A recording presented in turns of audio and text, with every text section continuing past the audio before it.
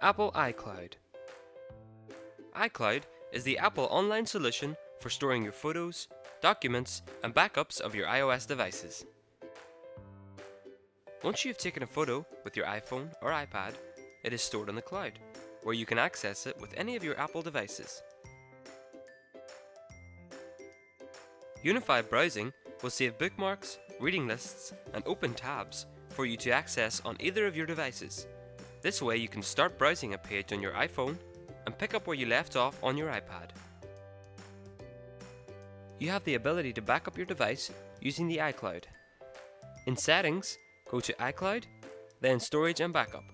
Switching on iCloud Backup will ensure that all your photos, documents, contacts, and calendar entries are stored in case you lose or break your device.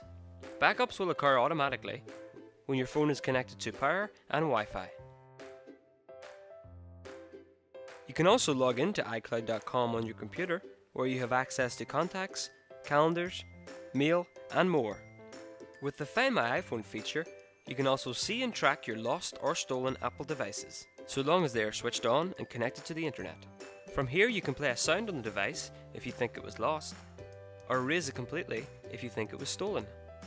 Lost mode will give a message on your iPhone, which will allow the finder to call a number that you specify. They will not have access to any other features on your iPhone.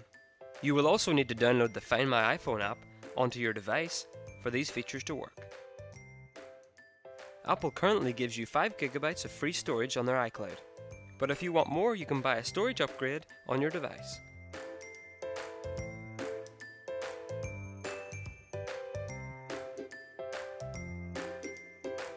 For more video guides, visit broadbandchoices.co.uk.